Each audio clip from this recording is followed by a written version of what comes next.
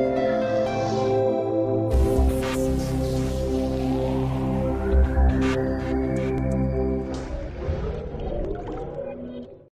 to be here, proud to be associated with it. Um, both my grandparents were teachers, my mother, chemistry teacher.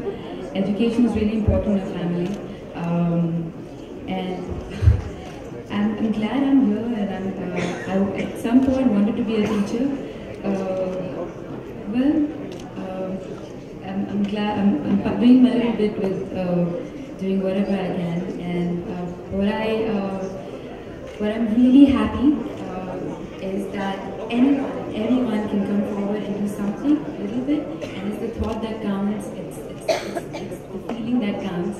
And seeing Chaitanya, it's, it's really nice that um, he's uh, trying to, uh, to bring the idea of community service, which I think we all need to inculcate. Give a little, share a little, and